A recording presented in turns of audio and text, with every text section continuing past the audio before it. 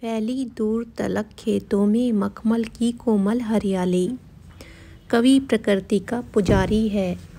वह ग्रामीण अंचल की प्राकृतिक सुंदरता को देखकर भावुक हो उठता है और कहता है कि गाँव के खेतों में दूर दूर तक हरियाली छाई हुई है। वह मखमल की भांति कोमल एवं सुंदर है। उस हरियाली पर जब सूर्य की किरणें पड़ती हैं तो वह चांदी की जाली की जैसा चमकदार दिखाई देने लगता है। खेतों में खड़ी फ़सलों के तिनकों का हरापन ऐसा लगता है, मानो हरा रक्त झलक रहा हो। हरी भरी पृथ्वी के तल पर आकाश का नीले रंग का स्वच्छ एवं पावन पर्दा झुका हुआ है। फिर कवि कहता है कि गेहूँ और जौ के पौधों की निकली बालियों को देख करके ऐसा लगता है जैसे उनके माध्यम से धरती रोमांचित हो उठी है। अर्थात अपने हृदय की खुशी को व्यक्त कर रही है, प्रसन्नता को व्यक्त कर रही है। खेतों में उगी अरहर की फलियाँ और फूल ऐसे लगते हैं, मानो सोने से निर्मित सुंदर करधनी धारण कर रखी हो। इसी प्रकार दूर दूर तक खेतों में पीली पीली सरसों फूली हुई है। उसके फूलों की सुगंध चारों ओर उड़ती हुई हमें प्रतीत हो रही है। इस हरी भरी धरती पर नीलम की सुंदर कलियाँ और नीले रंगों के फूलों से लदी अलसी भी झांकती हुई प्रतीत होती है। अलसी का फूल जो होता है, उसका रंग नीला होता है। फिर तीसरे स्टेंजा में कवि ये कहता है कि कवि जो है सुमित्रा नंदन पंत है और वह कहता है कि गाँव के खेतों में उगी फ़सलों और वहाँ की छटा का यहाँ पर वर्णन करते हुए मटर की फलियों का वर्णन करता है कि उनके पौधों पर तरह तरह के फूल खिले हुए हैं। उनके बीच में, फूलों के बीच में मटर की फलियाँ लटकी हुई हैं, जो मखमली पेटियों के समान लगती है। मटर की फलियों में मटर के दानों की लड़ियाँ छुपी हुई हैं। अर्थात, मटर की फलियों में मटरों की दोनों पंक्तियाँ विद्यमान हैं।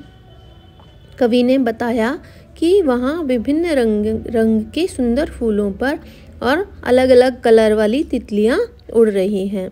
वहाँ इतने अधिक फूल हैं, ऐसा लगता है कि फूल स्वयं फूले नहीं समा रहे हैं। फूल स्वयं फूलों के समूह पर गिर रहे हैं। इतने अधिक फूल हैं कि वो खुद ही बहुत सारे फूल होते हैं और उसी में गिरते रहते हैं। यहाँ पर काव्यांश की बात करें तो प्राकृतिक छटा का मनोरम वर्णन कवि ने यहाँ पर किया है। फोर्थ स्टेंजा में कवि कहता है, जो स्टेंजा इस प्रकार से है, अब रजत स्वर्ण मंजरियों से लद गई आम्र तरु की डाली। इस स्टेंजा में भी प्राकृतिक सुंदरता का वर्णन करते हुए कहता है, अब वहाँ आम के वृक्ष की टहनियाँ चांदी और सुनहरे रंग के बोर से लद गई हैं। या आम की टहनियों पर जो बोर उगाया है, जिससे उन पर फल लगने की आशा हो गई है। इस समय ढाक और पीपल के वृक्षों के पत्ते झड़ रहे हैं। ऐसे सुहावने एवं सुंदर वातावरण में कोयल मस्ती से गा रही है। और कटहल के पेड़ भी महक उठे हैं। जामुन पर भी बोर लग गया है। जंगल में छोटे छोटे बेरों वाली झाड़ियाँ या बेरियाँ भी झूल रही हैं। आड़ू, नींबू, अनार, आलू, गोभी, बैंगन, मूली आदि फल और सब्ज़ियाँ खूब सारे उगे हुए हैं। अभी भरमार हो गई है उनके उगने की, क्योंकि मौसम ही ऐसा चल रहा है।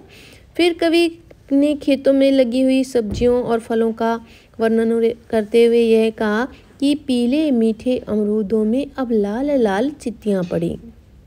लाल चिन्ह हो जाते हैं जब पक जाते हैं अमरूद और इसी प्रकार बेरियों पर सुनहरे रंग के मीठे मीठे बेर भी लग गए हैं। आंवले के वृक्ष की जो टहनियाँ हैं, उन पर भी काफ़ी मात्रा में आंवले लग गए हैं। खेत में खड़ी पालक लहला उठी है और धनिया भी बहुत सुंदर दिखाई दे रहा है। लौकी और सेम की बेल फैली हुई हैं, जिन पर लौकियाँ और सेम की फलियाँ लगी हुई हैं। और टमाटर का रंग बिल्कुल मखमली है, लाल रंग का मखमल जैसा होता है, वैसा ही है। मिर्चों के पौधों पर भी बड़ी बड़ी मिर्चें लगी हुई हैं। यह पूरा सब्जियों का यहाँ पर वर्णन कवि करता है। फिर नेक्स्ट स्टेंजा में बालू के सांपों से अंकित गंगा की सतरंगी रेती, सुंदर लगती सरपत छाई तट पर तरबूजों की खेती। इसमें कहता है कि गंगा के किनारे बिछी हुई सतरंगी रेत और हवा के कारण बनी हुई लहरें बिल्कुल सांप की तरह दिखाई दे रहे हैं। मिट्टी में लहरें बन जाती हैं, वे सांप जैसी दिखाई देती हैं और वह बहुत ही सुंदर वहाँ पर घास उगाई है। वहाँ पर किसानों ने तरबूजों की फ़सल उगाई है और अपने पाँव के पंजे से अपने सिर की कलंगी संवारते हुए बगुले बहुत सुंदर दिखाई दे रहे हैं।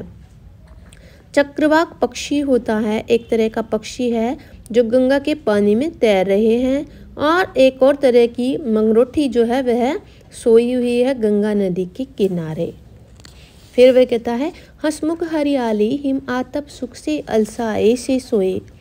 यहाँ प्राकृतिक छटा का फिर से उल्लेख करता है, किस प्रकार से करता है कि हरियाली को हंसमुख कहा है। और ऐसी है, धूप ऐसी लग रही है, मानो वह धूप सेकने के कारण अलसा गई हो, आलस उसे आ गया हो। रात के अंधेरे में वही हरियाली भीगी हुई सी लगती है और नीले आकाश पर रात्रि को चमकते हुए तारे बिल्कुल कैसे लगते हैं, जैसे सपने में खोए हुए हैं। सर्दी की ऋतु में चमकती हुई धूप में गाँव कैसा दिखाई दे रहा है? हरे पन्ने जैसा दिखाई दे रहा है, जिस प्रकार से पन्ने का, रत्न का डिब्बा किसी ने खोल दिया हो। और उस पर नीले रंग का आकाश छाया हुआ होने के कारण वह बहुत ही सुंदर दिखाई दे रहा है।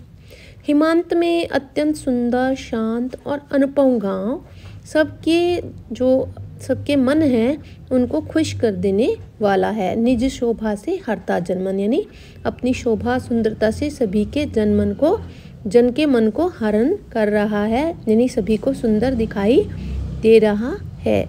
यहाँ पर कवि वहाँ के दिन और रात के अलग अलग दृश्यों का अत्यंत कलात्मक पूर्ण तरीके से वर्णन करता है। थैंक यू फॉर वॉचिंग अगर आपको इस पाठ से संबंधित पुस्तक लेनी है तो मैंने आपको सेलर के कॉन्टैक्ट नंबर दिए हैं। डिस्क्रिप्शन बॉक्स में आप वहाँ से कॉन्टैक्ट कर सकते हो।